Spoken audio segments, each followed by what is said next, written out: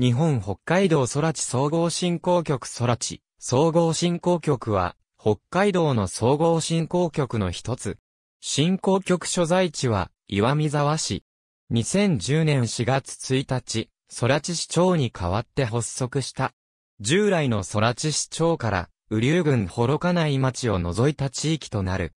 これは、幌加内町が、死別市をはじめとする上川管内の自治体と、経済的に強く結びついていることが理由である。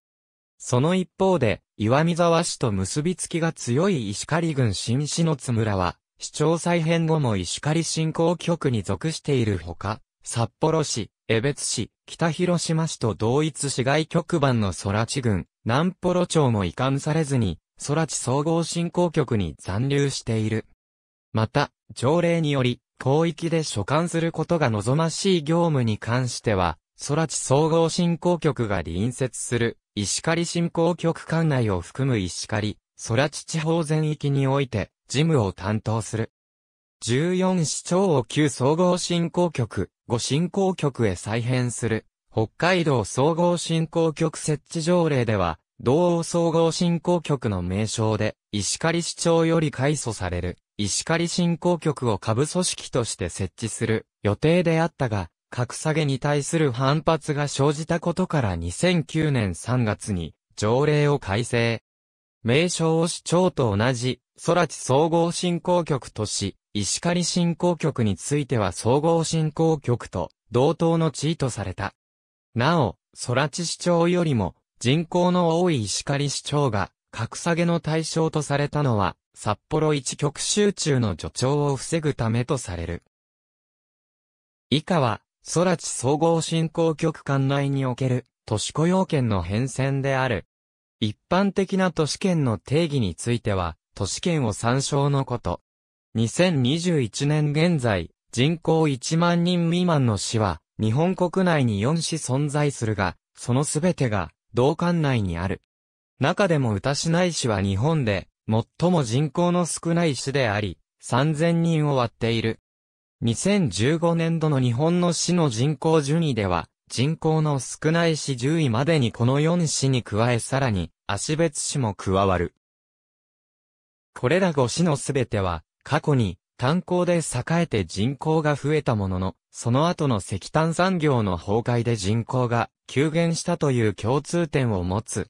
2020年現在、空地管内の重視で、市政施行基準の人口を上回っているのは、岩見沢市のみである。岩見沢市と滝川市以外の8市は、人口3万人をも下回る。しかし、近年の道内過疎化はすでに、空地管内だけの問題ではなくなっており、小樽市などの主要都市でも、相次いで、過疎地域指定を受けており、北海道のほぼ全域で深刻な状況にある。当然ながら、この空地管内も例外ではなく、戦術の5市を除いても過疎地域の指定を受けていないのは、岩見沢市、滝川市、空地郡南幌町の西一町のみとなっている。なお、1920年から1960年頃まで、空地市町は14市町で、最も人口が多く、この時期は、同町所在地、札幌を要する石狩市町ですら、空知市町の人口を一度も超えられなかった。人口が激減した現在でも、依然として、北海道の14振興局では、人口が6位、人口密度が4位と比較的上位に位置しており、王子の大繁栄の名残を垣間見ることができる。空知総合振興局の自治体1、夕張市、2、岩見沢市、3、美唄市、4、足別市、5、赤平市、6、三笠市、7、滝川市、8、砂川市、9、歌市内市、10、深川市、11、南幌町、12、内江町、13、上砂川町、